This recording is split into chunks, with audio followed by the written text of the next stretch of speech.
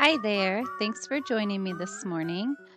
I just wanted to make a quick video showing you guys how to access the manual for SewArt. So I know that I've been teaching these SewArt videos for a long time, but I am not any kind of an expert whatsoever.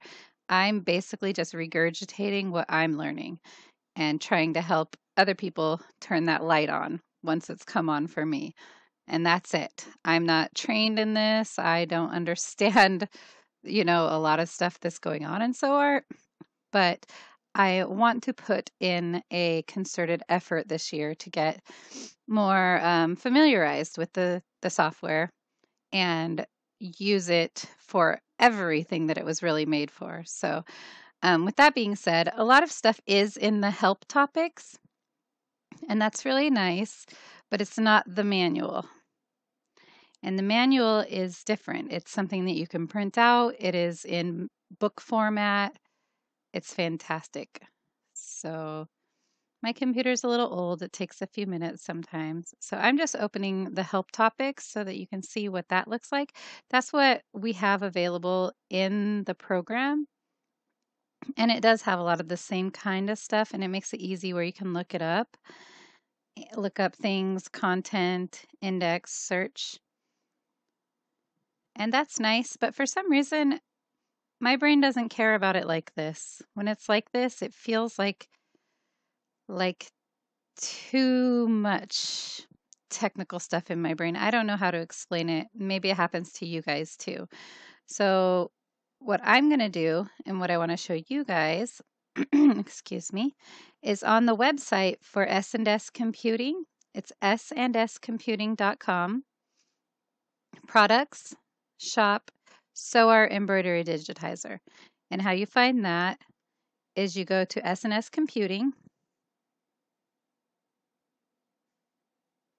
or you can write this all down, but it's just easier to follow the links that they have.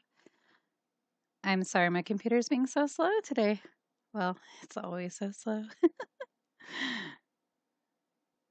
but this was supposed to be a much quicker video than this.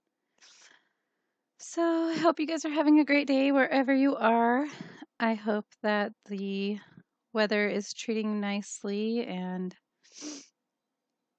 you're getting stuff done.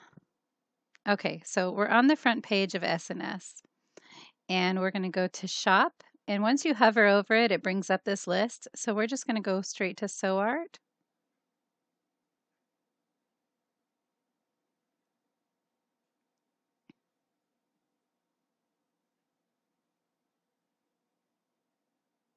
Okay. And then right here is the manual. And you can click download the manual and download it however it works with whatever browser you're using. But if you just right click on it and get your little, it'll give you a little menu, maybe. click open link in new tab or open new window. I'm going to just do new tab. And it's going to bring it up here as a new tab in a PDF that you can print off and have at your side. Or you can keep it on your screen as a PDF like this. And the I I think the reason why I like it better than the help topic is because it it's going to go in order for me as I scroll through pages. Um, I think the help topic button is still really amazing for getting to specific things, but it's not going to be the same as trying to learn the program by reading the manual. I hope that makes sense. That was what I was trying to get to all along. all right, come on.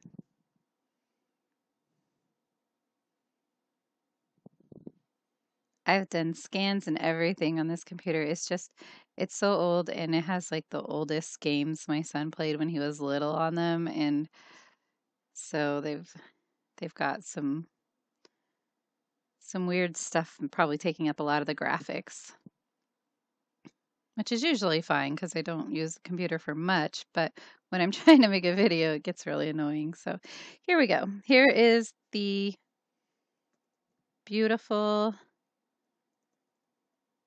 manual that SewArt, well, not SewArt has put together, but S&S has put together for us for SewArt. So you can keep it up on your computer at this page. You can bookmark it or whatever.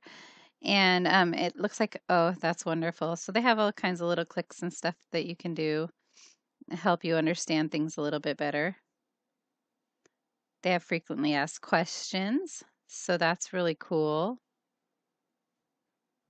I'm kind of getting excited about learning this program that I should already know by now. oh, so there's videos. Oh, that's really cool. You can find videos at this location. It looks like it brings you, if you look, oh, right there, I brought it up. So they have like this little banner of videos down at the bottom of SewArt. I'll show you that if you're not familiar with this. Video tutorials. And it has a bunch by me, but it has a bunch by other people too. So I just happened to play a lot with SewArt when I first got it. So I have lots of videos. There's my very first one.